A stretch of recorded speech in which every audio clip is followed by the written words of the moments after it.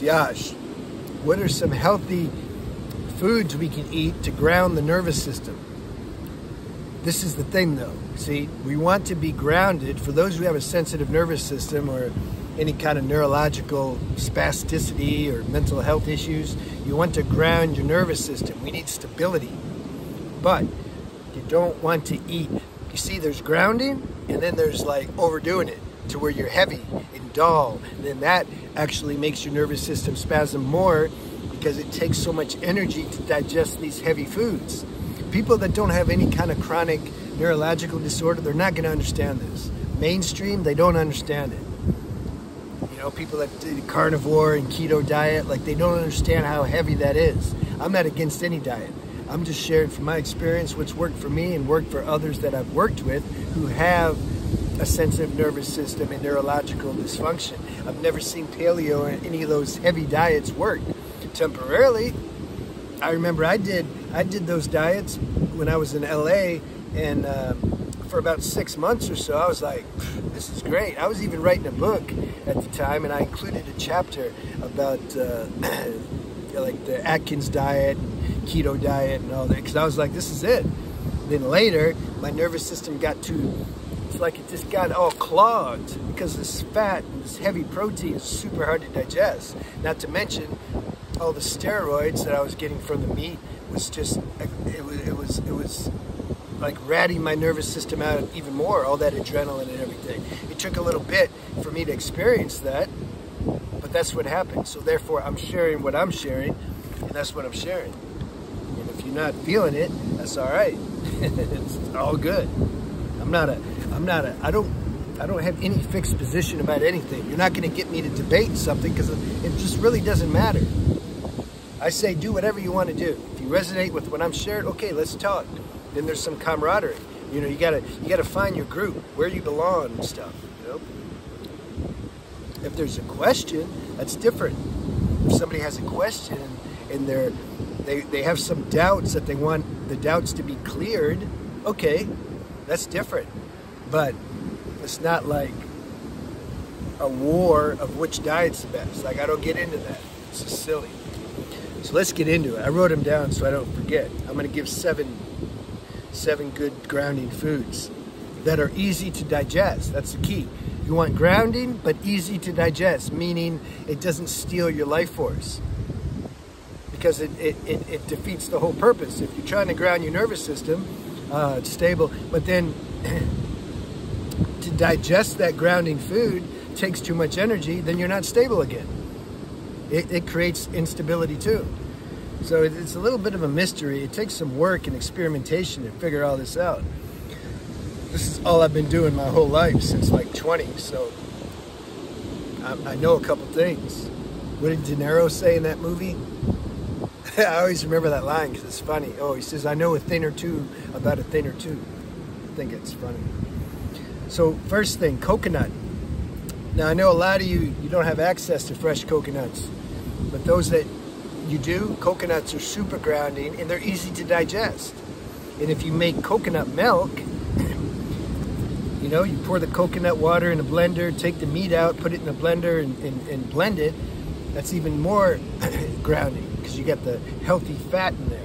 You're not going to get fat from drinking coconut milk. I used to fast on coconut milk. And on, on, on the books, it was saying I was taking like 4,000 grams of fat a day, but I was losing weight.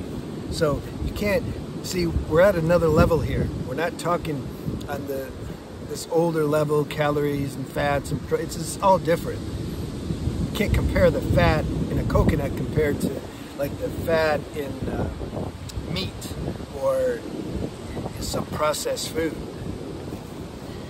So get coconuts if you can. Don't get the store-bought stuff though it's just not good. It can irritate your stomach. You know, get your fresh coconuts or, or just don't get them. Avocados, really good. Really good grounding earth element, but don't overdo it because you can get it, it, it's you can get too much uh, fat. That's harder to digest than coconut, the avocado. But uh, see where you're at with it. You got to be intuitive. You got to feel feel what's going on with your body. You should get to where you can think about a food and your body's like yes or no. And apply that to everything. Think about hanging out with the person, yes or no, everything. Sweet potatoes, really good. Make some like sweet potatoes and rice and vegetables, super grounding. You don't need meat. Like there's no way. This is very satiating.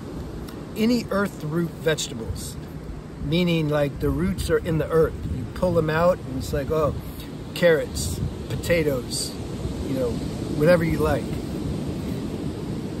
They're grounded. They're grounding. They're in the earth.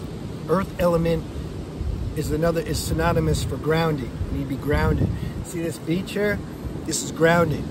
If you can take all your clothes off and put mud all over you and just lay there, that's grounding.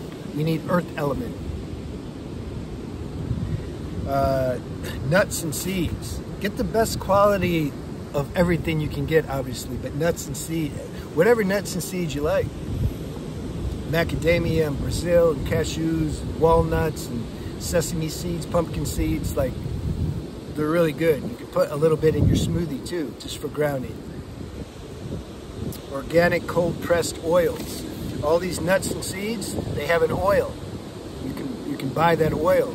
You might have to look online to get it. I don't your average supermarket doesn't have these things, but you can find it online, particularly if you're in like America or Canada or Europe or somewhere like that. And get cold pressed. You don't want your oils to be heated. You want you want good quality, good quality everything. Nut butters. All these again, all these nuts and seeds that I mentioned, they have a butter. You can, you can get those butters and get some vegan bread and put it on the bread and eat it. Or or a mixture of, you know, you can get whole wheat bread. That's also fine. Um, it's just you don't want a gluey bread. That's what I'm trying to say.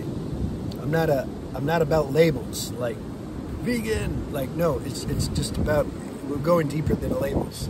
It's about like logic. And we, gluey's hard to like white bread or whatever gluey, just anything too gluey, your, your, your body can't digest that. It's like everything gets all glued. So your body needs to work harder to digest that. What does that mean? It means it needs to take more nerve force from your nervous system. Well, then what? More symptoms. You see? That's the thing. So that's why we want to look at all that. All right. So those are your main tips and main foods to get grounded. Let me know. Let me know if you want to know about some other foods. I'll make a video on that. All right. See you.